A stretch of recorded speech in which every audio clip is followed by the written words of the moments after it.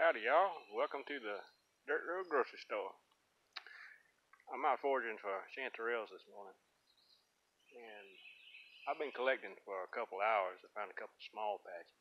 It is a few days after a rain in middle June in middle Georgia.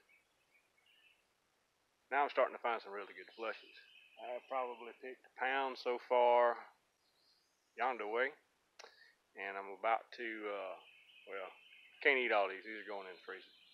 So I'm going to show you a picture of what they look like and two different kinds we have around here. If I and here we go.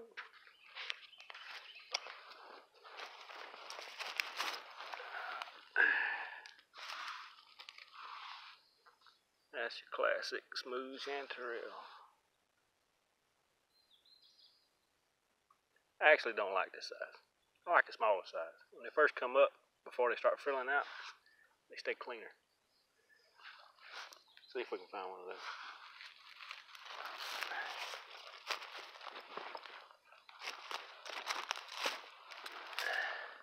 This has got lots of trash in it. You gotta clean that all up. This little fella. You can still look under there and see. But it's clean.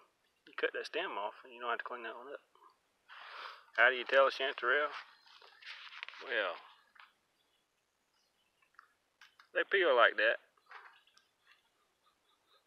And they, people say it's an apricot smell. I don't think so. I think it smells like chanterelle. I also think that the golden chanterelles smell better. We're going to go look at one of those in the sack.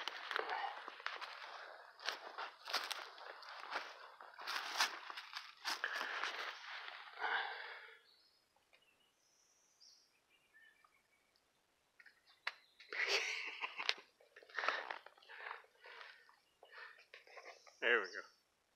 Get into the camera. There you go. This one, that is so fruity.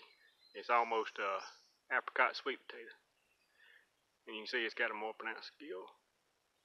I'm calling these goldens. These have less pronounced gill. Well, they're not gills.